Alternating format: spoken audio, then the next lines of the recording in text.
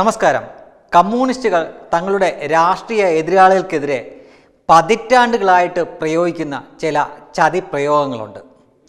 ഈ ചതിപ്രയോഗങ്ങളെപ്പറ്റി നടൻ ശ്രീനിവാസൻ തന്നെ ഒരു സിനിമയിൽ സന്ദേശം എന്ന സിനിമയിൽ വളരെ ഭംഗിയായിട്ട് കാണിച്ചിട്ടുണ്ട്. ആ സിനിമയിൽ അദ്ദേഹം വരച്ചിട്ടിട്ടുമുണ്ട് അതിന്റെ എങ്ങനെയാണ് ഇവർ അത് ചെയ്യുന്നതെന്ന്. അതിൽ ശ്രീ ശങ്കരാടി അവതരിപ്പിച്ച ആ കഥാപാത്രം കുമാരപിള്ള സാർ എന്ന ആ ഒരു താത്വിക ആചാരം തന്നെ പറയുന്നുണ്ട്. നമ്മുടെ എതിർ പാർട്ടിയിൽ ഇപ്പോൾ കൊള്ളാവുന്ന കുറച്ച് ചെറുപ്പക്കാരുണ്ടെന്നും അവരെ ജനങ്ങൾക്കൊക്കെ വലിയ ഇഷ്ടമാണെന്നും അവരെ നമ്മൾ ഏതെങ്കിലും പെണ്ണ് കേസിലോ അല്ലെങ്കിൽ ഗർഭ കേസിലോ ഒക്കെ കുടുക്കി അവരുടെ ഇമേജ് തകർക്കണമെന്നും. ഇത് തന്നെയാണ് ഈ കമ്മ്യൂണിസ്റ്റ് പാർട്ടി പതിറ്റാണ്ടുകളായി തങ്ങളുടെ രാഷ്ട്രീയ എതിരാളികൾക്ക് നേരെ പ്രയോഗിച്ചു പ്രയോഗിച്ചുകൊണ്ടിരിക്കുന്നത്. അവർക്കതിന് യുവാക്കളെന്നോ അല്ലെങ്കിൽ പ്രാ മുതിർന്നവരെന്നോ ഒന്നും അവരുടെ മുന്നിൽ ഒരു വിഷയമേ ഇല്ല. തങ്ങളുടെ എതിർ രാഷ്ട്രീയ പാർട്ടിയിൽ ആരെങ്കിലും കൊള്ളാവുന്നവരുണ്ടെങ്കിൽ അവരെ ഇകഴ്ത്തി കാണിക്കുക എന്നതാണ് അവരുടെ പ്രഖ്യാപിത ലക്ഷ്യം.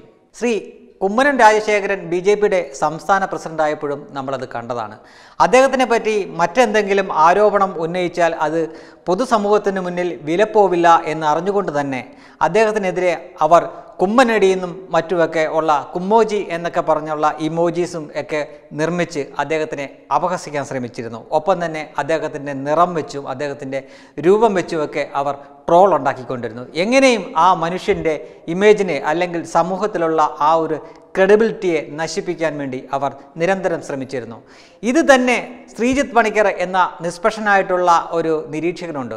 മിക്ക ചാനലുകളിലും അദ്ദേഹം വന്നിരുന്ന് നല്ല രീതിയിൽ ചർച്ചകളൊക്കെ നയിച്ച് അല്ലെങ്കിൽ ചർച്ചയിലൊക്കെ പങ്കെടുത്തു അതിനെ വളരെ നല്ല രീതിയിൽ ജനങ്ങൾക്ക് മനസ്സിലാവുന്ന രീതിയിൽ കാര്യങ്ങളൊക്കെ വ്യക്തമായി പഠിച്ച് അവതരിപ്പിക്കുന്ന ഒരു വ്യക്തിയാണ് ശ്രീജിത്ത് പണിക്കർ. അപ്പോൾ പലപ്പോഴും ഈ ഇടതുപക്ഷക്കാർക്ക് അദ്ദേഹത്തിന് മുന്നിൽ തോൽവി സമ്മതിക്കേണ്ടി വരാറുണ്ട്. അപ്പോൾ എങ്ങനെയാണ് ഈ മനുഷ്യനെ ഒന്ന് ഒതുക്കുക എന്ന് നോക്കി പല പണിയും പഠിച്ച പണി പതിനെട്ട് നോക്കിയിട്ടും നടക്കാതെ വന്നപ്പോൾ ഒരിക്കൽ ഇവിടെ കോവിഡ് ഒരു കോവിഡ് രോഗിയെ ആംബുലൻസിൽ വെച്ച് ബലാത്സംഗം ചെയ്യപ്പെടേണ്ടി വന്നതിനെപ്പറ്റി അദ്ദേഹം പിന്നീട് സാന്ദർഭികവശാൽ ഈ ഒരു സന്ദർഭം പറഞ്ഞപ്പോൾ അത് റേപ്പ് ജോക്ക് പറഞ്ഞു ഈ ശ്രീജിത്ത് പണിക്കർ എന്ന രീതിയിൽ ഇദ്ദേഹത്തിനെ അപമാനിക്കാനും അല്ലെങ്കിൽ ഈ ഇദ്ദേഹത്തിന് അധികം വിസിബിലിറ്റി കൊടുക്കാതെ കൊടുക്കാതിരിക്കാനും ഒക്കെ ഇവർ ശ്രമിച്ചിരുന്നു. അങ്ങനെയാണ് അവർ കാലങ്ങളായി ചെയ്യുന്നത്. ഏത് വിധേനയും അവർക്കെതിരെ നിൽക്കുന്നവരെ ഏത് വിധേനയും അവർ തകർക്കാനും നശിപ്പിക്കാനും നോക്കും.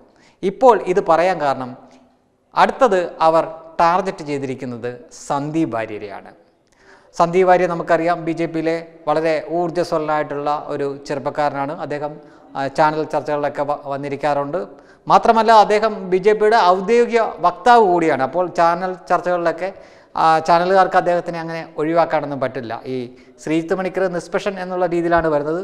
അപ്പോൾ മറ്റ് രാഷ്ട്രീയ സ്വാധീനം കൊണ്ട് അല്ലെങ്കിൽ അവരുടെ പ്രേരണയൊക്കെ കൊണ്ട് ശ്രീജിത്ത് പണിക്കരെ ഒരുപക്ഷെ ചാനലുകളിൽ വരുത്താതെ ഒഴിവാക്കാനൊക്കെ പറ്റും. പക്ഷേ സന്ദീപിന്റെ കേസിൽ അത് നടക്കില്ല. കാരണം സന്ദീപ് കേരളത്തിലെ ബി ജെ പിയുടെ ഔദ്യോഗിക വക്താവാണ്. അപ്പോൾ ബി ജെ പി പ്രതിനിധി പോകേണ്ട സ്ഥാനത്ത് ഇദ്ദേഹം പോവും ഇദ്ദേഹം വരണ്ട എന്ന് പറയാൻ ചാനലുകൾക്ക് പറ്റില്ല. പിന്നെ എന്ത് ചെയ്യും? ഏത് വിധേനയും ഈ മനുഷ്യന്റെ അതായത് സന്ദീപ് വാര്യർ എന്ന ഈ ബി ജെ പിയുടെ മിടുക്കനായ ഈ വ്യക്തിയുടെ ഇമേജ് അല്ലെങ്കിൽ ക്രെഡിബിലിറ്റി സമൂഹത്തിന് മുന്നിൽ തകർക്കുക. അത് തന്നെയായിരുന്നു അവരുടെ ലക്ഷ്യം. അതിനായി ഇപ്പം ഈ ഇടതുപക്ഷക്കാർ കമ്മ്യൂണിസ്റ്റുകാരൊക്കെ ഒരു കഥയൊക്കെ മെനഞ്ഞ് സന്ദീപിനെ സംഘികൾ തന്നെ അതായത് ബി ജെ പിക്കാർ തന്നെ കൈകാര്യം ചെയ്തെന്നും അവർ സന്ദീപിനെ തല്ലിയെന്നും വീട് കയറി തല്ലിയെന്നും ഒക്കെ പറഞ്ഞ് ഒരു കഥയൊക്കെ മെനഞ്ഞുണ്ടാക്കിയിട്ട്. ഒപ്പം ശബരിമല പ്രക്ഷോഭകാലത്ത് പോലീസിന്റെ മർദ്ദനമേറ്റ സന്ദീപ് വാര്യർ ഹോസ്പിറ്റലിൽ കിടക്കുന്ന ചില ചിത്രങ്ങളൊക്കെ ഉണ്ട്.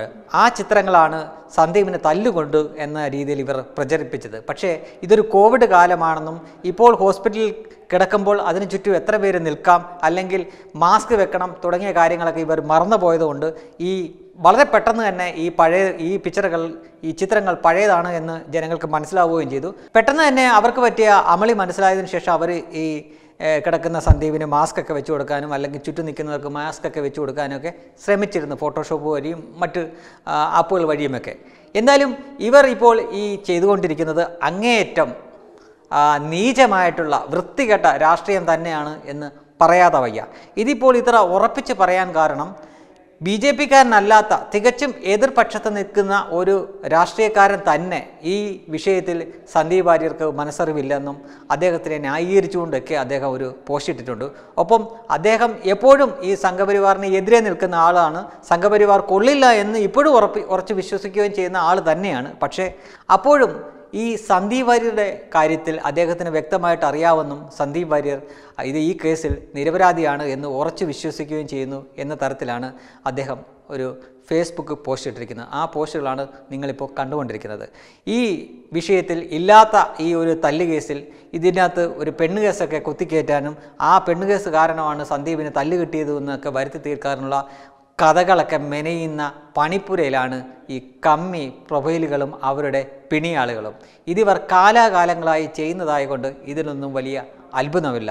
എന്തായാലും ബി ജെ പിയിൽ ഇപ്പോൾ വളർന്നു വരുന്ന മിടുക്കനായിട്ടുള്ള ഒരു യുവാവ് അല്ലെങ്കിൽ ഒരു നേതാവ് തന്നെയാണ് സി ശ്രീ സന്ദീപ് വാര്യർ. അദ്ദേഹത്തിന്റെ ക്രെഡിബിലിറ്റി തകർക്കുക എന്നത് അത്രമാത്രം വ്യക്തമായ തെളിവൊന്നും ഇല്ലാതെ ചുമ്മാ പടച്ചു വിട്ടാലൊന്നും ആ വിശ്വാസത തകരില്ല എന്ന് നിങ്ങൾ മനസ്സിലാക്കണം. വെറുതെ കുറേ ആരോപണങ്ങൾ ഉന്നയിച്ചിട്ട് ഇല്ലാ കഥകളും പറഞ്ഞ് പഴയ ഫോട്ടോസൊക്കെ എടുത്ത് ഇട്ടാൽ ഏതെങ്കിലും അന്തംഗമ്മികൾ അത് വിശ്വസിക്കുമെന്നല്ലാതെ ഇവിടുത്തെ പൊതുസമൂഹം അതൊന്നും വിശ്വസിക്കാൻ പോകുന്നില്ല എന്ന് നിങ്ങൾ മനസ്സിലാക്കണം.